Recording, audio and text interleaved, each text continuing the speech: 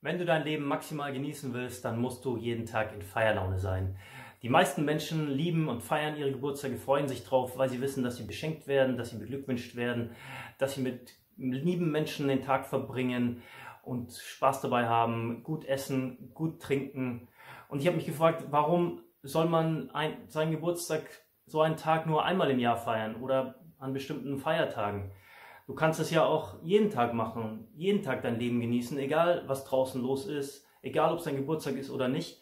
Denn ich finde, man, jeder Mensch hat das Recht, in Freiheit zu leben, in Glück zu leben und in Freude zu leben. Und ja, lass uns in diesem Video doch einfach drüber reden, wie wir es schaffen, mehr im Leben zu feiern. Ich, du kriegst äh, eine simple Anleitung, wie du es täglich schaffst. Und äh, bleib doch gerne bis zum Ende dran, denn dann gibt es ein besonderes Geschenk von mir. Und zur Einstimmung bitte ich dich, schreib doch gerne in die Kommentare, ich bin heute in Feierlaune.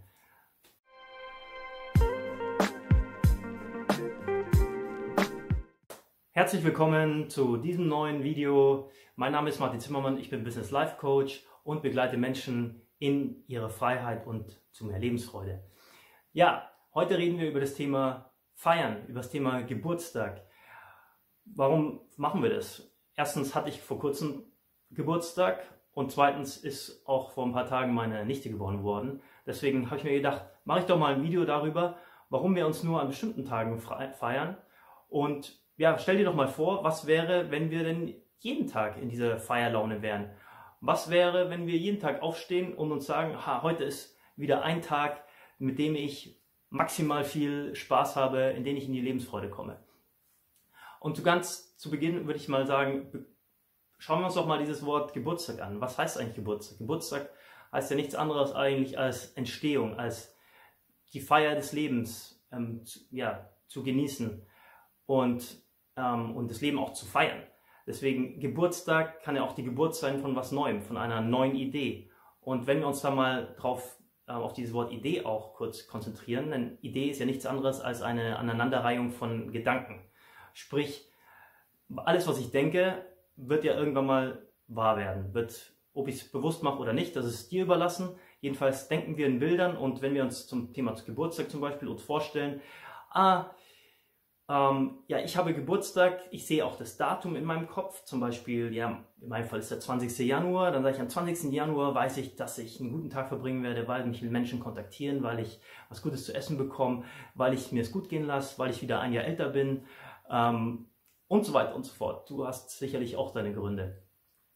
Andererseits, wenn wir so denken, oder so denkt jeder, mit dieser Datum ist, das Datum ist der Trigger, wir werden praktisch angetriggert von diesem Datum, dann kriegen wir Bilder in den Kopf geschickt, ob wir es ja, unter, unbewusst meistens, weil wir können nicht, wir denken zwar ständig, unser Verstand funktioniert ja, unser, unser Bewusstsein, allerdings können wir es nicht die ganze Zeit ja, kontrollieren. Deswegen ist es so wichtig, dass du dir bewusst bist, du denkst in Bildern, also das heißt, du im Thema, zum Thema Geburtstag, du kannst ein Datum zugespielt bekommen, mit dem du dich identifizierst, wo du Spaß dran hast, wo du dich darauf freust, zum Beispiel dein Geburtstag, Feiertage, Weihnachten, Wochenenden, weil du damit Bilder assoziierst, wie zum Beispiel Spaß, wie äh, Freizeit, wie dass du Dinge tust, die dir wirklich Spaß machen.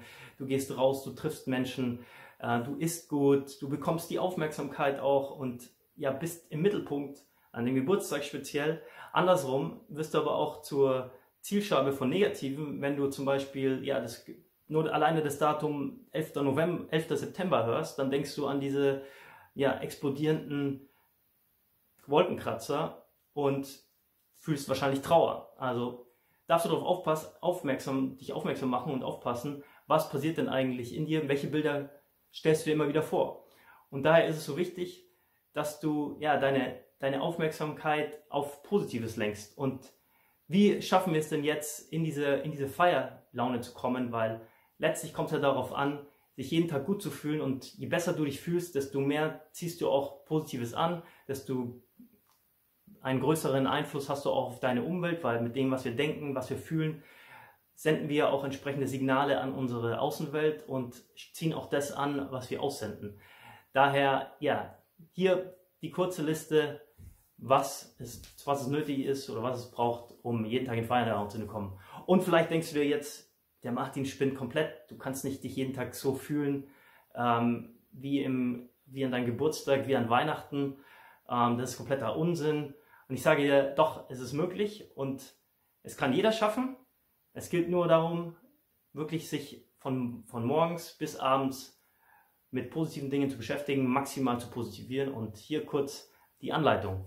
Am besten fangen wir beim Morgens an, startest du, indem du dir positive Energie zukommen lässt, indem du positive Energie ja, kreierst. Ich nenne nur mal ein Beispiel, was, was ähm, ja, auch das Gegenteil ähm, bewirken kann, nämlich negative Energie und Misserfolge, schlechte Erfahrungen, ähm, negative Gefühle. Und zwar habe ich in der Zeit lang Basketball gespielt in Paris und unser Trainer, weil wir 60 Prozent unserer Spiele verloren haben und eigentlich nicht als Mannschaft funktioniert haben, aus diversen Gründen, weil wir auch keinen Plan hatten, keinen Spielplan, keine Systeme und es war halt einfach ein absolutes Chaos. Hat er zum, zu Beginn des Spiels fast gesagt, so, Jungs, ähm, ihr spielt heute wieder, lasst euch, lasst euch gut gehen, habt Spaß am Spiel, weil wir gewinnen das Spiel sowieso nicht, der Gegner ist viel zu stark.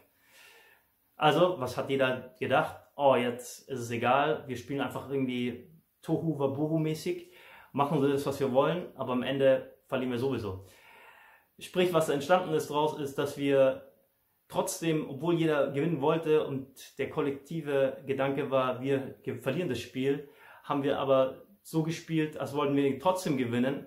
Und ja, das hat, das gab es irgendwie diese, diese, diese kognitive Dissonanz in unseren, in unseren Köpfen, in unserem kollektiven äh, Teambewusstsein. Und daher gab es Stress, es gab Ärger, es gab Chaos, es gab äh, Tumult und letztlich haben wir dann trotzdem natürlich verloren, weil es so manifestiert wurde von unserem Coach. Also, wie fängst du an? Das war eine kurze Anekdote. Mach so, dass du dir gedanklich schon ausmalst, wie du den Tag gestaltest. Indem du gute Musik hörst, indem du dich mit positiver Musik einstellst auf den Tag, indem du dir auch drei Leute ausdenkst, täglich drei verschiedene, wenn es geht, können auch die drei gleichen sein, denen du Nachrichten schickst, denen du deine Dankbarkeit ausdrückst.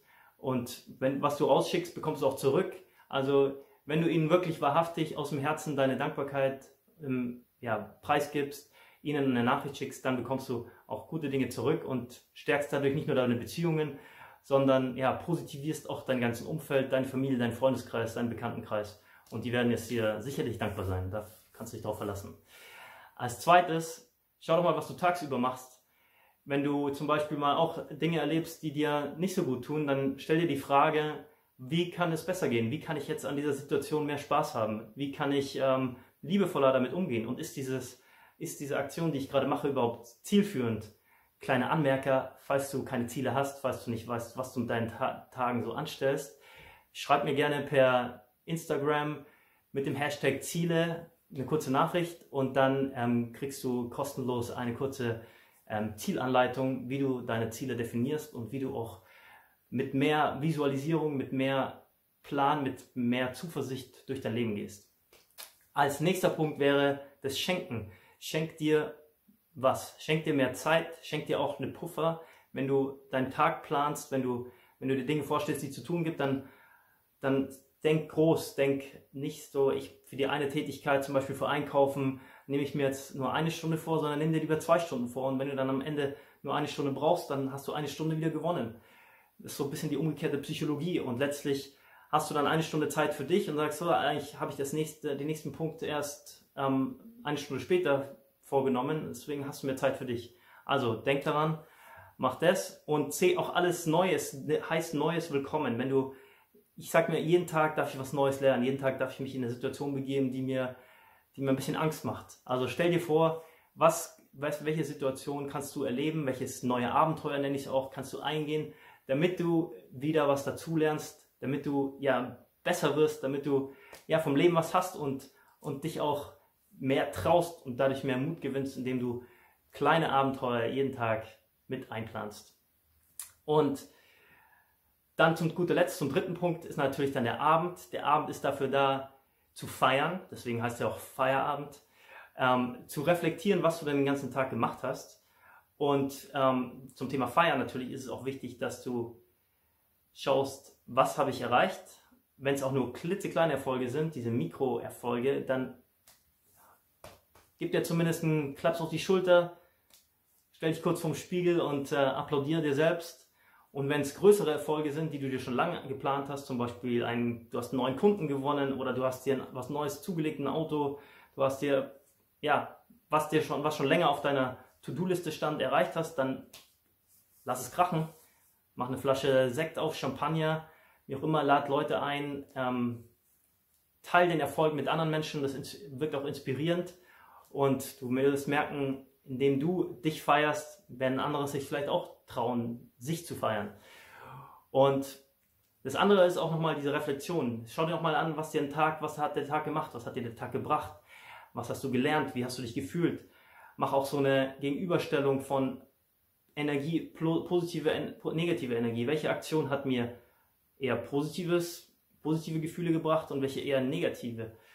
Das ist ganz wichtig, damit du dann auch in den nächsten Tagen dir dann auch beim Visualisieren, wenn du die Tage planst, und das habe ich lange Zeit nicht gemacht und vergessen und vernachlässigt, weil es nämlich, ja, Planen für mich war der springende Punkt, dass mein Leben besser geworden ist, dass ich mehr vom Leben habe, dass ich, dass ich mehr, mich besser fühle, dass ich gesünder bin, dass ich, dass es mir einfach besser geht, weil ich, weil Planen eigentlich gleichzusetzen ist mit Visualisieren. Du stellst dir die Situation vor, du gehst den Tag durch, du gehst den nächsten Tag durch, du schaust dir, was kann ich verbessern, was kann, wie kann ich mich besser fühlen und versetzt dich schon gedanklich, emotional in diese Situation herein und ich kann wetten mit dir und du kannst gerne kommentieren, ob es so ist oder nicht. Diese Situation trifft dann meistens so ein oder sogar besser, als es dir eigentlich ausgemalt hast.